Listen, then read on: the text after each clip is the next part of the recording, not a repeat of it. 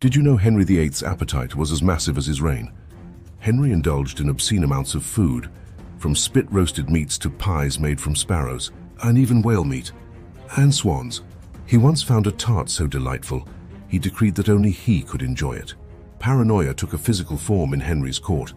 Every morning the servant who made his bed had to kiss the linens to prove they hadn't poisoned him. Vanity and valor in equal measure led to a painful existence for Henry. His love for jousting and fashionable leg garters contributed to chronic, painful ulcers. Subscribe for more interesting facts.